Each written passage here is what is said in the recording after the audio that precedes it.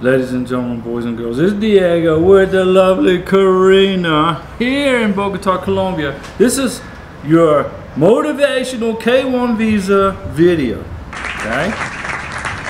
If you have not filed your K1 visa, please watch our videos. Please watch our videos. Prepare yourself. Don't just put together a sloppy package and mail it off to the lockbox and hope that immigration will approve your visa if you've put zero effort and zero work into putting your visa package together. Okay? If you put a lot of work into your visa package, if you submit a strong visa package that's got communications between you and your fiance over at least a year at a minimum, if you've put it together in a cover sheet you put a nice cover sheet together identifying each separate part of your visa package. When immigration get it, they can flip through it quickly and easily without any hassle. You don't submit them a little cheesy little packet of, of papers in a little folder that's got dog ears on it. When they get it, they'll set it over here and go to the next visa package, which is professional. Put together a professional visa package, okay?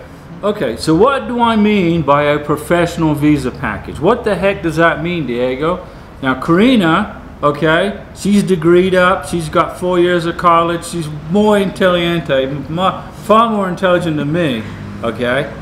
But I'm the sponsor, and I'm responsible for putting the visa package together. Now, right here is a binder with document protectors, okay? And this is called binder number one.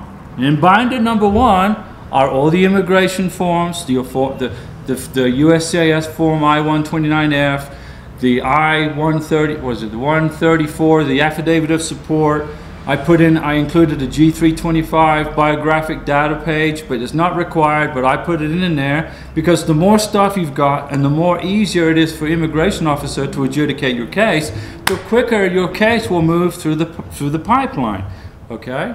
So what, you know, what, what's in binder number two? Well, we submitted, I submitted three binders, four binders of information. In binder number two, now this is a year's worth of communication between Karina and I. When I'm in Florida, when I'm in Florida, okay, I am talking to Karina on the phone in WhatsApp. Put this WhatsApp icon on your uh, application on your phone. And then at the end of the day, when I get done talking with Karina, which could be an hour or two hours, I print, print, print the communication, okay?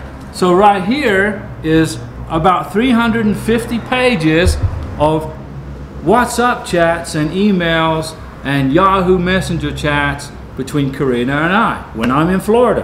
Okay, now, right now, I'm in Bogota, Colombia, so I don't have to call Karina on the phone. She's right here. Hola, Karina, ¿cómo estás? ¿Tú bien, mi amor? Oh, mi lega. Okay, am I going to do that? No. I'm right here. So how do I prove to immigration that I'm with Karina in Bogota, Colombia? Well, tonight we're going to go out to dinner, probably a nice restaurant, and I will get the receipt from the dinner and use my credit card because when I use my credit card, that's a state stamp that you know, Diego Ross is in Colombia. And I take the receipt and I tape it to a piece of white paper and I put it in a binder of evidence for while I'm here. And I plan on staying in Colombia until Karina's visa gets approved or denied, whatever. But it's going to get approved. Our visa package is really good, okay? It's not going to get denied. Evidence is the key, ladies and gentlemen, okay?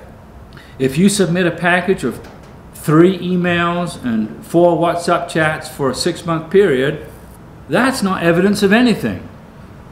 You know, that's just that's just laziness on your part, on your part. Okay?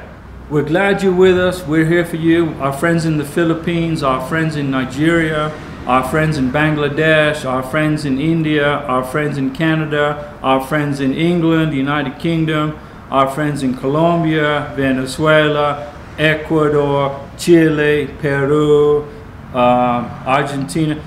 To everybody watching our videos around the world, we appreciate you.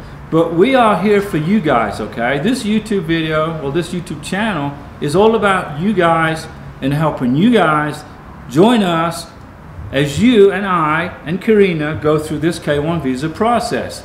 It's not easy waiting and waiting and waiting. We understand it's not good. I was separated from Karina for what, four or five months, and it sucked, okay? It was horrible. It was horrible. Ooh, oh, we're calling each other every day. An hour, two hours on the phone, into the night. Karina's got to get up for work, and we're still talking on the phone. And she goes to work tired. Okay? It's a difficult process. But we are in the same boat as you guys. We are here for you guys. We will help you. Watch our videos. We're going to guide you from A to Z through the entire visa process. Okay? It's not difficult, but it requires a lot of sweat, a lot of work, and a lot of time and a lot of patience. And a lot of patience. Okay? Karina and I send our best wishes to you guys out there watching us. We wish you well. If you have any questions about the K1 visa process I am so familiar with it. I have got a K1 visa approved. I've got a K2 visa approved. I've got a K3 visa and a K4 visa approved in the past. I know how to do this. Okay? And I didn't need an attorney. I didn't need to pay an attorney all this money to tell me that this is going to be a slow process. I already know. If you hire an attorney, you're going to pay a lot of money. And is your visa going to get adjudicated any quicker? No. It's going to be slow. Okay? We're here for you guys. Hang in there. And we will see you in Colombia. Colombia.